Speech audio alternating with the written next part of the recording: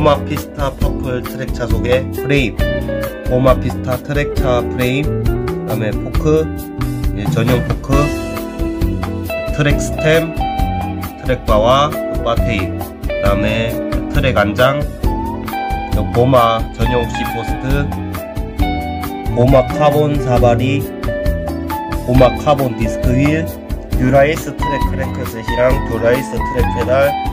Izumi V 체인. 그 다음에 Dura-Ace cog 아쉽지만 바퀴가 굴러가지 않는 관계로 시승 영상은 찍지 않겠습니다